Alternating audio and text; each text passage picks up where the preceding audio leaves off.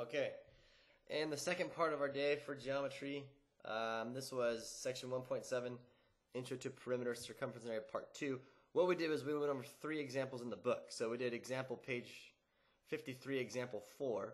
Uh, they gave you a soccer field that was 100 yards long by 50 yards wide.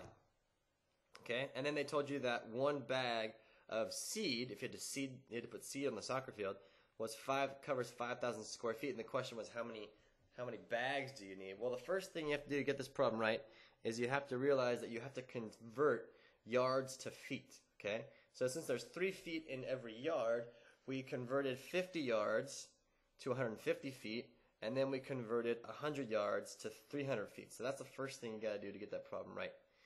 Then we found the area of the field. So the area was length times width. So the area was 300 times 150, gave us 45,000 feet squared.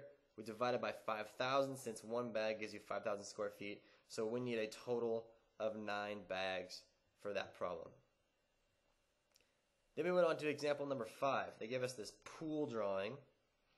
And then they say there's a couple of decks surrounding it. And we numbered the decks number one, two, and three.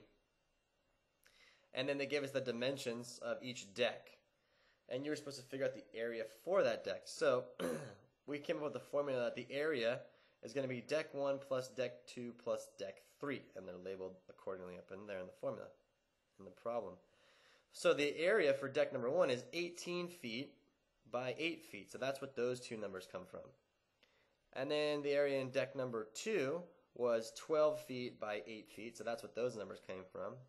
And then the area in deck number three was 8 by 8 and that's just this one and that one, 8 by 8 I crossed it out on that one. So, when you put all that together, you get an answer of 304 feet, add them all together squared. And then lastly, we went on to did example number 6 on page 54. They give you this flag, and they tell you that the flag is 24 inches long, and the area, the total area, is 360 inches squared. And your job was to find the height. So you had to do work backwards a little bit here. So we say, okay, we know 360 is equal to 1 half the base times the height. I know that the height is what I'm looking for. I know the base is 24 inches. So I take half of 24, get 12, divide, and I get a height of 30 inches on that one.